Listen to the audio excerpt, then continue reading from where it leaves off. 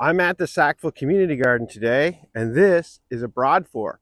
We'll talk more about that later. We're going to plant a row of peas, and we're going to walk you through the steps that we're taking, including using a broad fork. You're listening to the Culinary Garden Show. I'm Chef Alan Barber. And I'm Master Gardener Sarah Evans. Today we're at the Sackville Community Garden in Sackville, New Brunswick, and it's a gorgeous day. It's midway through May and it's time to plant. Yeah. The weather forecast for the foreseeable future is close to 20 degrees during the day and around 10 degrees at night. There's no frost warnings for the next two weeks as far as we know. That could change, but now it's time to start planting all of the garden beds. It's true. We might still get a freak frost at the beginning of June, but as long as you're aware of that happening, you can proceed with caution and definitely planting seeds and planting any cold hardy transplants is uh, perfect timing. So today we're going to use a broad fork to split up uh, some soil and add some organic matter. And then we planted some peas in that bed. And so we're going to explain the steps of planting peas and why we uh, make the beds mound shaped. Looking forward to it. This is a broad fork and it's a really good tool in an area like this where we have multiple beds this has got six tines and it's about the same width as our garden beds. And what we do with this broad fork is we step on it and push it into the soil and then we pull it up. And you can see how it's brought up a large swath of our dirt. And you can see this is the dirt that we are planting into, which has very little organic matter. And this is the organic matter we've added to the top. But by using this broad fork, we're mixing this together. And we'll have to do this year after year until eventually this whole layer is a good mix. But this is very poor soil that we're planting into this year. I'm going to do this whole row with the broad fork and we're eventually going to do all of the rows that we put in. So we're mixing this up today and then we're going to add more compost material on top of it and we're going to plant peas. The other thing the broad fork does, which is really good, is it loosens up the compaction of the soil and it also allows air into the soil, which is really important because air is important for the microbe biological activity. And we also want this to allow water so we don't have a hard pan crust on top of our garden beds. This will let water and air and back and different organisms into the deeper layers of the soil, which is great for root health and great growth. What are you doing, Sarah? I'm adding more compost on top uh, just to build up the organic matter in the soil, give the peas something to germinate into and something to grow. So this is a composted uh, manure that uh, we got from a local landscape company. So why do we want to use composted manure specifically? Uh, it has a lot of different uh, nutrients in it. It will be a slow release uh, fertilizer over time. It has really nice, rich uh, organic matter in it already. So there's some like wood material, but there's also uh, a lot of worms, a lot of microbial activity already happening in there. And that's going to transfer into the soil and build up the microbial life. So it's really dark. Is that dark is awesome. So organic matter, you can almost just see from the get-go, it's the decomposing material in your soil that's already dead or is still living. So it's going to be dark colored as opposed to a soil, which uh, is what we are starting with here, which is more of like a minerally light color. Am I holding cow poo in my hand right now? You're ho holding once once cow poo. I would say so, but it's been uh, through a process probably over more than a year where it's been heated up to a point where it's not cow poo anymore. Does it smell like cow poo? No, it doesn't smell like anything. And it has like little bits of wood chip and hay in it. So it's not just, or wasn't just cow manure. Obviously, they added other things yeah. It. When they have a commercial composting facility, what they'll be doing is uh, mixing the, the manure that they get with all kinds of different other materials, sort of the carbon nitrogen balance. So yeah, they'll make it into something that uh, composts quickly and composts hot. So that'll kill any uh, nasty microorganisms. So is there anything in this alive now or has it all been killed? Well, there's worms in there. Okay. And I would say there's different kinds of bacteria. There may be some fungi living in there still. So it, after it gets to a heating point, then it rests for a while, and that's when uh, the decomposition Now, the material that you're putting this over top of is also compost, but this is much different. Yeah, so the other stuff is a composted uh, seafood product. So that comes from a peat moss farm that's in New Brunswick, and then they mix in uh, basically byproducts from fish plants and shellfish plants. So yeah, you I can, see mussel shells. exactly you can see little bits of mussel, mussel shells, little bits of uh, lobster shells sometimes, and that this stuff is pretty common in the Maritimes. You can get it uh, even in bags at the hardware store. And again, you're just taking something that has a lot of nitrogen in it that's like a really good product and then they mix it together with all kinds of different materials to compost it and they compost it to a hot hot hot temperature and then cool it down and this has been here for a year so this pile was sitting in the community garden over the winter so it's like really composted a lot And underneath this, we have the original dirt, which is kind of dead. Yeah. It doesn't have any darkness to it. It's just sort of clay and sand and stones. So we're hoping that this creates biological growth by adding organic material. yeah But for biological growth, we also need oxygen and water. So this compost is fairly moist that we're putting on top. And it's quite loose as well so it's not like it's like easy to put a shovel into and to knock onto the ground uh, it's really nice compost And so you said this has also got peat in it. Is peat good or bad?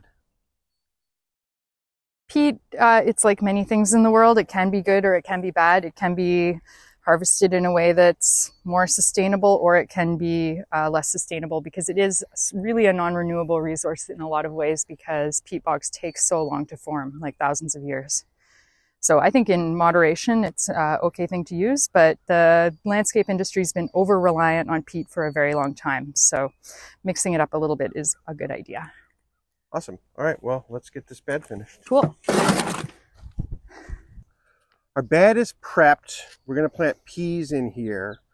Uh, we've added a lot of organic material. We broad forked. We added organic material, two kinds, seed compost and manure compost.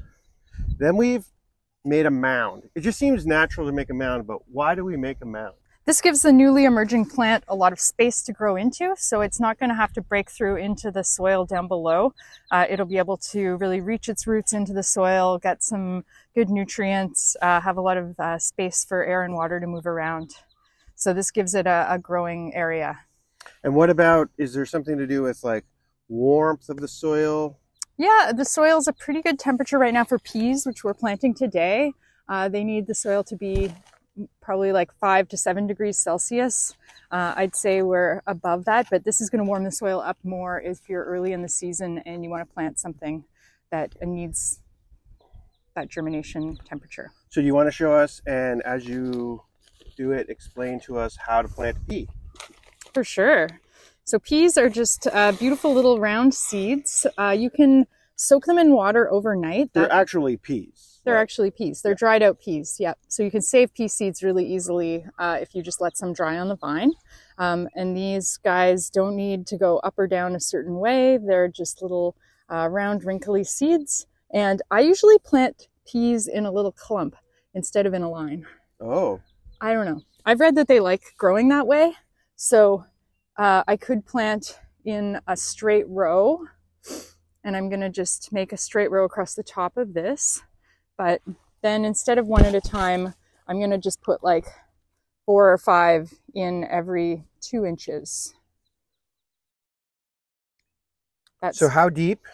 I'm going to plant them. The general rule with uh, seeds is they say plant them twice as deep as they are big. So that's about a centimeter down. You can go a little bit deeper than that, but that's just sort of a rule of thumb. Bigger seeds go deeper. Small, tiny seeds, they just get like almost sprinkled on the surface. They don't even need anything. Awesome. Yeah.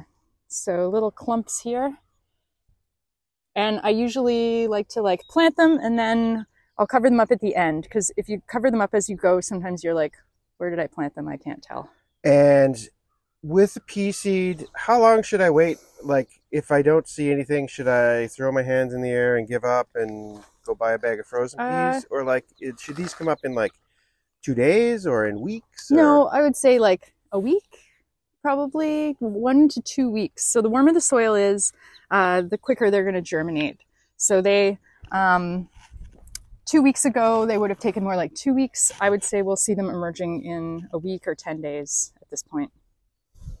Okay, and then uh, would I?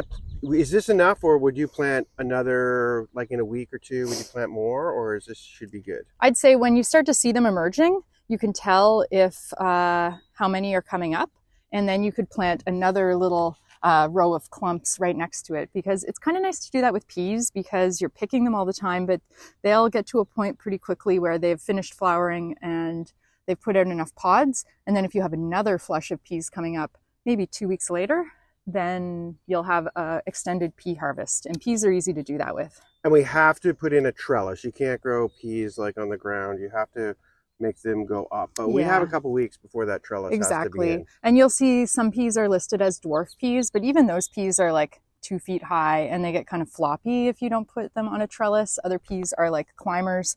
I actually don't know what kind of peas these are because they're just labeled peas and they're out of the community garden seed library. So we're going to find out. But I think we'll supplement them with another kind of pea that we do know what it is and a tall climber. And can you plant peas? How long? Okay. How many days does it take for the peas to hit maturity? Like when can I eat a pea? Uh, probably around 60 to 65 days to maturity, I would say. So that's like two months. Two months. That's on like the tighter end of the scale for vegetables. So it's halfway through May, so June, July. So sometime in July we'll get peas. Yeah. And we can also eat the flowers. yeah, you can eat the flowers, you can eat the shoots also. That's why I also like to plant like clumps and have a lot of them coming up because then if you've got a nice big clump of peas coming up, you can be clipping the shoots off and eating those as greens. The tendrils are edible. The whole thing is they're totally delicious. Now peas don't like it to be too hot though. Yeah, exactly. So the peas will be germinating now. This is pretty much perfect soil temperature. I'd say it's around 10 to 12 degrees. But when it gets too warm and the soil is like as hot as the outside, when it's more in the 20 degree range, the peas will stop germinating. Uh, and they also don't like flowering. So they may grow greens, but they're going to hesitate to flower when the temperatures are in those like high 20 Celsius. So plant your peas early and plant them often. Yep. And eat And the then shoots, take a break. the flowers, and the peas. Yeah, and then you can plant fall peas as well, like more like uh, towards the beginning of September when the days are getting shorter and the nights are getting a little bit cooler. Try another uh, round of peas, and you probably have time before frost before they go. Excellent. Yeah. If you want to get in touch with us and have any questions or comments about the show, you can email us at culinarykitchengarden at gmail.com. So today we're recording the show at the Sackville Community Garden in Sackville, New Brunswick. And part of the community garden is a food forest. And it's behind us uh, right now. And it's quite impressive. It's pretty large. It's been here for a while. How long has it been here for? It was planted about 15 years ago. So starting from just lawn, uh, and the site was prepared, uh, and everything was planted, and now they're in pretty substantial uh, state of growth. It's amazing. Yeah, so if you could see where we are, if you're watching this on video, but if you're listening on the radio, you know, there's a 30 foot tall uh, tree there. What is that? A That's a butternut tree. okay, so what sort of things are in the food forest? Yeah, so the biggest trees in there are butternut trees. So those are a type, also called white walnut. Uh, and they're a type of, of walnut tree that's native to this area, but not super common. So it's pretty cool. There's two big ones and then a smaller one in there. And then as well, there's a lot of sort of shrubby, uh, shrubby sized food bushes. So those include, uh, there's a lot of service berries, there's choke cherries, there's uh, wild cherry, another type pin cherry, and then there's a lot of elderberries. So those have really like naturalized all over the area and just sort of grow throughout that whole that whole space. So what's the concept behind, just briefly, what's the concept behind a food forest? Maybe Yeah. we'll do a full show on food forest later in the year. For sure. So food forests are a permaculture concept, and the idea is that it has different layers of growth. So from canopies down to ground covers, and it mimics a bunch of the different uh, properties of a natural forest. And so that makes it easier to care for and less maintenance. And it's mostly based on using perennial shrubs, trees, and plants. So there is some stuff in there that you can harvest this weekend, right? Yeah, definitely. Spring is a great time to harvest uh, small greens, green shoots that are coming up, uh, and green leaves. So we're going to harvest some Sochan or Cutleaf Rudbeckia, and then we're going to have a look at the fiddleheads that are coming up as well. Cool. So those are things that we can harvest from the forest floor at this time of year. And we have a little microforest here, which is a food forest, but you can go out into the greater woods and find some of these things and put them on your plate. I saw a broken down willow tree over by the train tracks, and I'm going to take some cuttings and I'm going to try to reestablish some willow trees over here in the community garden. I'm going to go look at the Sochan and the fiddleheads and do some harvesting. So today we're harvesting wild fiddleheads. So these are a type of fern that are native to this area, to the Canadian Maritimes, northern Maine, and Quebec. And they grow along riverbanks and in shady parts of the woods. So they're easy to find in the springtime when they're just unfurling. They're beautiful little delicious vegetables, but they have to be cooked. That's important. So you have to take them and blanch them uh, in order to enjoy their flavor. So these are fiddlehead ferns, also known as ostrich ferns. When they're mature, you'll notice that they have great big long fronds and they look like ostrich feathers. So that's an easy way to remember. And I find the best way to identify them is the fact that they grow out of a clump like this. And that clump has a bunch of like black material around it. So you can see right now it's growing up in a wood chip path, um, but it's growing out of like a hard black uh, lump that has material from previous years. So that's different than other ferns that may just grow individually out of the soil. These ones are, are always clump based. They're a native fern to northeastern North America, and they grow a lot in the shade and along riverbanks in wet areas. So they're pretty easy to find. And once you know where there's a fiddlehead clump, you can return there year after year after year to harvest them. So you can see the ferns are unfurling at all different rates. Some of them are still tightly closed and then these ones are coming up. So this is too late to harvest, but these ones have a lot of nice little tight, tight curls on them. So you want to clip this off right at the bottom and you can use, use your clippers. And then it's going to be covered in this papery material. So you're going to wash that off as you go. Sometimes people will put them in a net and dunk a whole bunch of them in the river at once. You don't want to over harvest fiddleheads. They're a wild plant and you want to make sure that there's enough growing in the, in the environment. Um, so they say to take two to three from each clump, but never more than that. So I'm going to take two from this and they're nice little curled up, beautiful. You can see how much moisture and, and succulence is in there. You can listen to the Culinary Garden Show on CKDU 88.1 FM in Halifax and you can listen to it on CHMA 106.9 in Sackville, New Brunswick. We're also on YouTube, and this is a video podcast on YouTube, and it's also a podcast on the Apple Store. So today I'm harvesting uh, a wild plant growing on the floor of the food forest at the Sackville Community Garden. So it's called Sochan or Cutleaf Rudbeckia.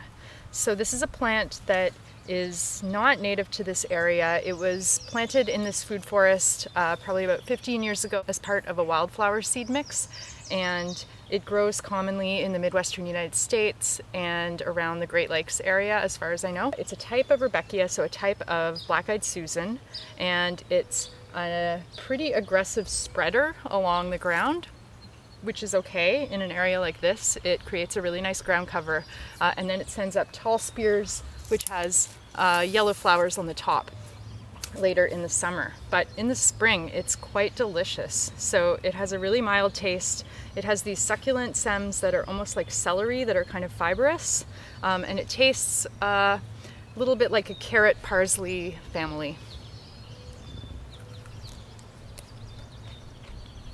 So I've read about people using it as a crudité, so having a plate of raw vegetables with a little bit of this on it.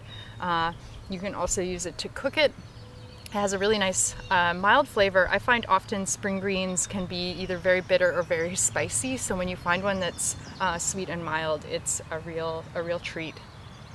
So to cut it, I'm just gonna go along the ground with a pair of scissors or a pair of loppers, and I'm just gonna cut off the whole plant Um, so you can see here I've got couple of different stems. This is a perfect time to do it because the stems are still nice and soft and supple, so I can just chop these up and blanch them, and they're not uh, hard or fibrous like they will be once the flower buds start to form. So once they've started to form, then it's probably too late to harvest the plant, but the spring is the perfect time for spring greens and stems because they're so soft.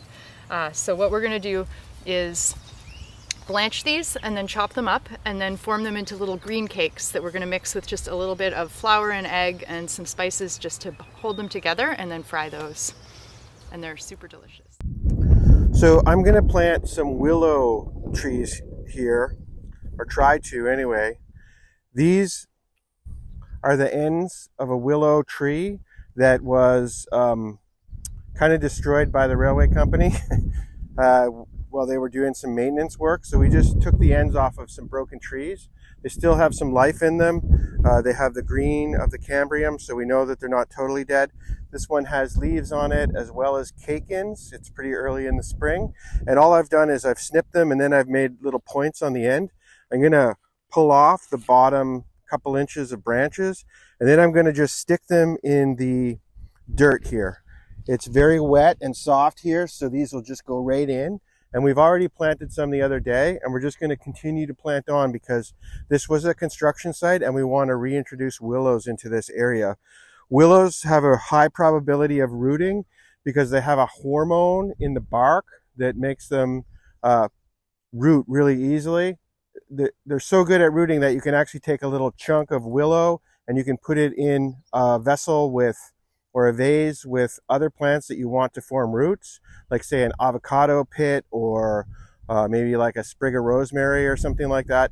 And the, the hormone in the willow will actually um, accelerate the growth of roots on other plants. It's so strong. So these willows are going in and hopefully some of them will take and next spring we'll have willows. The other thing that's really cool about willows is once they take, you can also weave them together into a living fence maybe we'll be able to pull that off next year. Just have to try to avoid rocks. And I'm putting these pretty close together because probably a few of them won't survive. So, and I'm just pushing them down about six to eight inches into the ground. And I'll put them two rows deep. And hopefully we'll have willows. I'm going to dig up a tansy. So I guess it's time to talk about our weed of the week. We're over here on the uh, edge of the allotment section of the community garden and it's mostly dirt, but if we look down where the grass is meeting the new area, we can see some weeds and these weeds are pretty hard to deal with. And the whole reason that we put all this dirt down in this area is to get rid of an infestation of this. So what is the weed of the week and what are we going to do about it? So tansy is the weed of the week. So tansy is a native plant that grows uh, all over eastern North America. It is quite beautiful, uh, has a nice like fern-like foliage, and will get to be probably like five feet high, even higher in some cases. Um, some people actually grow different types of it in their garden. I think it's been hybridized as a garden plant, and in that case, it would be sort of like more like a three to four foot perennial. It has quite a beautiful yellow flower. I know it because it looks like a daisy that's had its petals cut off. Exactly. So it just looks like the center of the daisy. Yeah, and it's got like sort of a collection of little, uh, little tiny uh, yellow flowers. And actually, I said it was a native plant to this area, but I believe it's actually common all over the world because in England I've heard it spoken of as something that people use. So it's actually a medicinal plant. If you eat a bit of the leaf, it's not poisonous, but it's like super bitter, like not delicious at all. But people use it as a medicine. Uh, I'm not sure exactly for what, but if you're into that, you can look that up and find out. Um, but and one interesting use is that people take it and dry it and use it to repel moths. So you can like fill like let's say a mesh bag with it and throw it in your closet with your wool blankets in the winter. Oh, like mothballs. Exactly. It's like a natural mothball. Cool. So all right. that's a use for tansy, but it grows all over the place here and if we don't deal with it when it's small, it's going to get really big and hard to control. And that's the thing about perennial weeds is they're going to start coming up right now and they're going to grow super vigorously as soon as they emerge. So we want to bite the bullet and get them out of here. Okay, well, have fun digging that up. Yeah, thanks. Ooh. So I've dug the tansy up and mm, I can smell that like bitterness that I was talking about. And it's got a very fibrous root system that sort of spreads out a little bit and will grow uh, new tansies off the end of it. So it doesn't go super deep. So usually you can just pull it out, uh, dig around it like you would dig around a perennial when you're uh, dividing perennials in your garden, and then just lift it out. And then you want to just throw this uh, into, I would say not into your compost heap, but throw it somewhere where it's not in your garden and you don't have to worry about it anymore.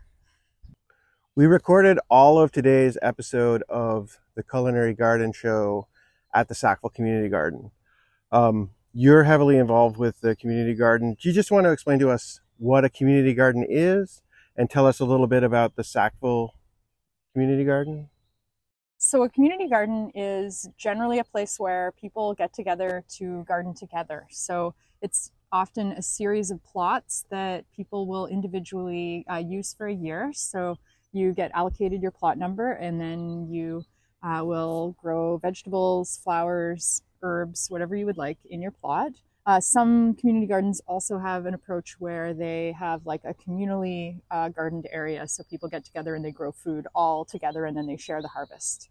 Uh, so at the Sackville Community Garden, it's been here for 15 years and we have actually a combination of both of those approaches. So we've got plots that people can use individually and then we've also got a new allotment area that we're going to uh, use communally. So anybody who pitches in can harvest from there. Over the last 15 years, quite a bit of infrastructure has been built up here. So aside from just the plots in the grounds, uh, which I guess are nominally like sort of rented or like booked for the year, uh, and you get your own plot to work on yourself. Then there's the communal area, which is the allotment garden, which is just coming in this year. There's also a food forest, which is a shared endeavor. Uh, takes a fair amount of spring work to sort of prune it and keep everything healthy, but it mostly just goes on its own. You don't have to water it or fertilize it or anything like that. It's self-perpetuating. We also have a teaching classroom and behind us here is a bread oven. So all of these things have built up over time. Some community gardens are very simple and rudimentary and other ones that have been established for a long time can have lots of infrastructure definitely. Some community gardens are run by municipalities, other ones are entirely volunteer driven. Sometimes it's part of a community organization. So it really depends on how many resources they have and how many people they have involved, and also the membership of the garden and how how active they are in, in helping out with these projects. So this garden here in Sackville, New Brunswick is volunteer driven and it has how many plots? 20 28 right now. 28 plots. Um, and we're just starting our year and we're pretty excited about how it's going to develop. Yeah, and I think that the perennial areas, there's also a pollinator garden out front that sort of welcomes people off the road. Those are the parts that I got really excited about when I uh, started volunteering here, just because they are really beautiful, interesting gardens to learn from. And, you know, there's a different collection of plants here than I have at home, so you can